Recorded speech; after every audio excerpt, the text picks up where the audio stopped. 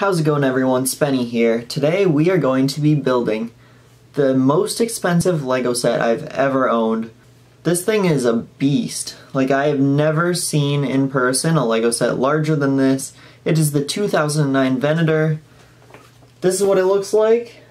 And let's get right into this.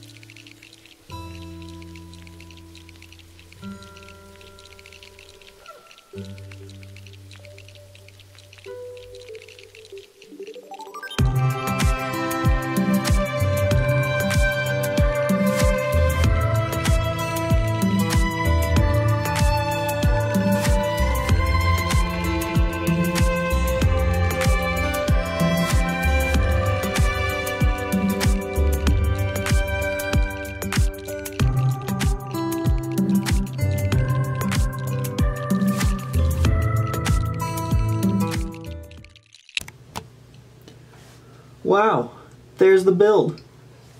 I am super happy with this. Um, one thing I do need to mention is that I did look into this later on after the build, and I did realize that the kind of reddish pieces are very fragile, so when I was taking it apart, a few of them broke, so I had to place them where they would look best. That's why on the wings, we only have three on each side when there was supposed to be five. Not really gonna complain about that. This set is old, man. I got this set in 2009. Also, I just realized today, I'm today years old, when I realized that there's a carrying handle. All along I was carrying it very awkwardly, kind of from the bottom. This thing is huge, like look at this. But yeah, this is my most expensive Lego set, by far. Um, as I said, got it in 2009 at like basically at release. Um, I kind of had it in storage for the longest time because it's it's too big to kind of store anywhere.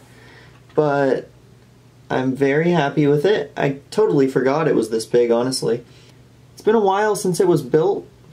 Honestly, not too much to say about it other than I'm freaking happy that I never sold this when when I, I, I kind of went through like a selling phase, like I think we all do. Like as you grow up, you're like, oh, I don't use this anymore, I want to get rid of it. For me, I don't know, Lego was the one thing where I was like, I do want to sell it, but you know what, I might end up going back to it, because it's like kind of a collector's thing. I mean, as, as kids, you kind of like playing with it, but then as you kind of grow older, you're like, you know what, it still looks sick to display, and that's what I'm going to be doing. I'm not taking this back apart. I'm going to be displaying this, and yeah, I, I hope I don't get into uh, Lego spending habits, because that, that, that could be dangerous, but that's basically it. I hope you guys enjoyed that little time lapse I made, because that did take me quite a while. I didn't get to finishing the editing portion of the time lapse until I got Adobe Premiere Pro. Um, that's fun. That's new because it's included with my school and like tuition, whatever. Because the other two softwares didn't want to deal with five hours of kind of building. I didn't do it in a time lapse mode on my camera because I don't have one. I kind of just recorded video, like five hours worth of video, and then I was like, I'll time lapse it later. But uh, it didn't really want to work because, I don't know, the apps are just kind of garbage that I was using before, like iMovie, Clipchamp. I put it all into Premiere Pro. I, I almost didn't make this video because I couldn't. It just wouldn't let me. Throw it all into Premiere Pro. It uh, it all buffered in like a minute, and then it exported in like nine minutes, and and that's how you have this whole video today, and that's awesome. Um, just to show you one other thing that I don't think I showed you.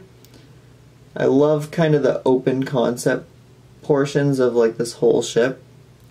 It's amazing. But yeah, that's going to conclude my building of the Venator from 2009. Uh, I hope you guys enjoyed. If I do, if I do happen to buy any more Lego sets, let me know what you guys think. Do you want me to do another time lapse for you guys? Because I'd be happy to. I had a lot of fun with this. Um, I mean, it, as you know, it, it did take me a while, but it was well worth it. So, as always, please don't forget to like, comment, and subscribe, and I'll see you all in the next one.